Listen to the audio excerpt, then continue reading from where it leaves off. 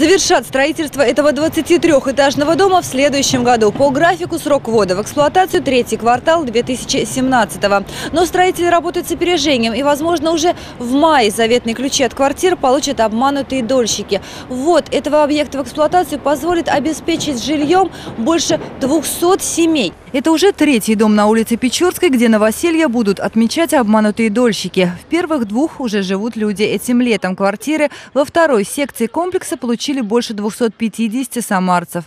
Общая площадь застройки около 52 тысяч квадратных метров, собственниками которых станут более 900 семей, вложивших свои деньги в шесть проблемных недостроев. Возводят эти дома по современным проектам. К моменту сдачи благоустроят и дворы. На этот год будет э, закрыт дом, это периметр, окна, остекление. Внутренние работы сейчас ведутся. Благоустройство, естественно, будет делаться весной, после того, как будут закончены наружные сети. Квартиры просторные, с удобной планировкой. Качество сомнений не вызывает. Эти проекты финансируются за счет средств областного бюджета. Проекты проходят э, процедуру э, экспертизы государственной.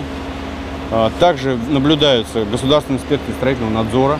Число дольщиков, ставших жертвами мошенников, в регионе постепенно снижается. Если в прошлом году такими числились более трех с половиной тысяч, то сегодня менее трех тысяч. За три года в Самарской области достроили и ввели в эксплуатацию 22 проблемных дома. Еще 7 планируют сдать в этом году. У нас, значит, было 50 таких проблемных объектов, которые был включен перечень. Значит, по 38 уже нашли инвестора из 12 оставшихся объектов.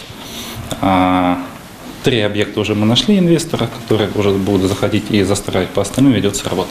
По новому закону у Министерства строительства появилось больше возможностей контролировать застройщиков, чтобы избежать появления новых недостроев. Теперь Минстрой может проверять и бухгалтерию строительных компаний, выяснять, на что идут деньги дольщиков. Марина Кравцова, Станислав Левин. События.